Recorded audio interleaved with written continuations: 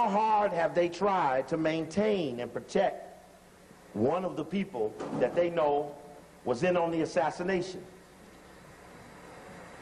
And uh, in uh, 1977, this is from the book called The Man to See. It's by Evan Thomas, and it's on Edward Bennett Williams, a white man who used to own the Baltimore Orioles. If you read that book by Spike Lee on the Malcolm X movie, Captain Joseph talks about Elijah Muhammad going to Bennett Williams to try to get the men out of jail who were allegedly accused of shooting Malcolm X. So he was known as a real fix-it white man who could fix a case in a minute. Big time white boy. Also chaired the president's foreign advisory, foreign intelligence advisory board. It's like the outside intelligence people on the inside of the government. Even at one point rumored to be deep throat. That's right, yeah, just let it run. That's Posner. Uh, stop. Let's see if we stop. That. Oh, oh, Let's go back a little bit. Let's show the face of Gerald Posner, the little mop-headed white boy. Right there. Oh. Here we go. Turn, turn on. Let's go a little slow. Not there. That's the Mason Temple. Stop him right there. That boy right there, Gerald Posner, he wrote this book right here, Killing the Dream. He wrote this book, Killing the Dream. And on the back of his book is that picture with Jesse, Martin, and Ralph, with Martin looking real puzzled. Can you see that? Okay. And in his book, Killing the Dream, he tries to help out Billy Kyles. Because in William Pepper's book, Orders to Kill, he says that Kyles is a Memphis Police Department informant. So Posner, he's going to defend Billy Kyles, and he puts this in his book. He says, um, he says, um, Mike where? He said Jordan came to the lecture? Uh, he says here, he says Kyles told, the, he says, um, da, da, da, in his book Orders to Kill, William Pepper raises the strong inference that Kyles might have been an FBI informant. It's degrading and insulting, quote, Kyle says, about the author Pepper's accusations. It casts an aspersion over my 40 years in the civil rights movement. I saw how Pepper operates. Now, he says that he's appalled that Pepper called him an FBI informant. Check. But what did I say Pepper called him? An FBI informant? No, I said that Pepper accused him in this book, Orders to Kill. See, you got to listen to them somatically. See, they're going to deny something, but they ain't going to deny what they were accused of. In Orders to Kill, this book, William Pepper says that Kyles, he talks to the police chief, Sam Evans, who was running things then. He said Kyles was one of my informants. Billy Kyles was an informant. Billy Kyles is the one that told the police that Martin King don't need no protection that day. Okay? Billy Kyles is the one that made sure Martin King had his tie on.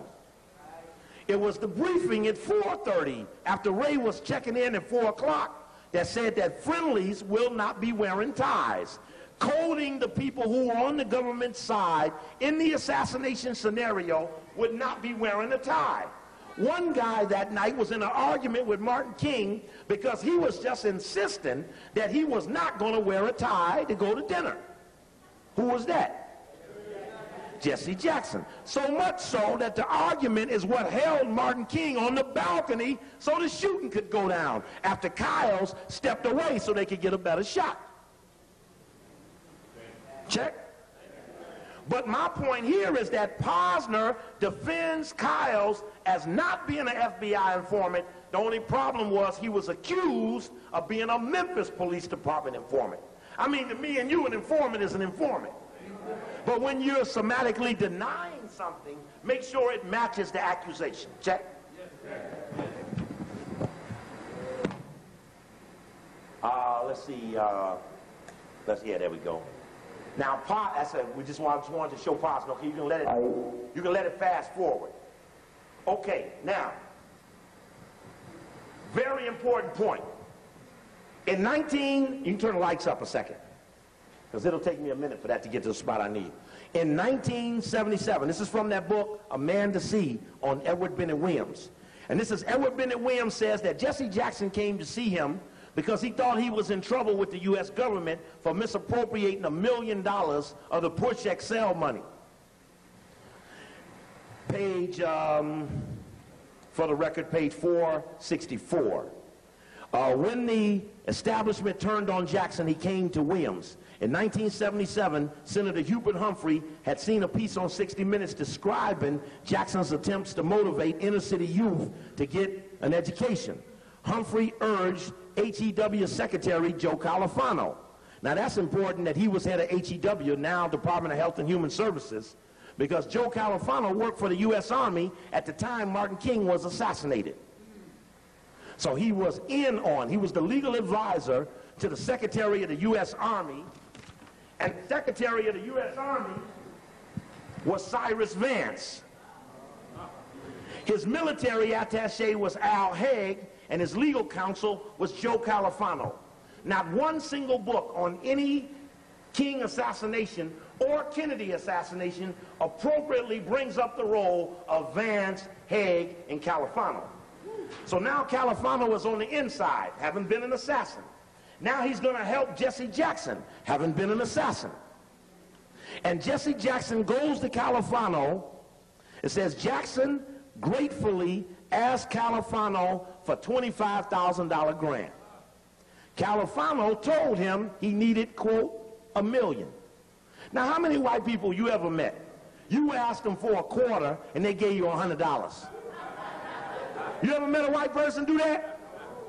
So it's strange. Jesse would walk into the government, ask for a $25,000 grant. Califano told him he needed a million and then proceeded to give the black leader $6 million. Of the $6 million, he misappropriated $1 million. Now the feds got him for misappropriation of funds. He's $1 million missing.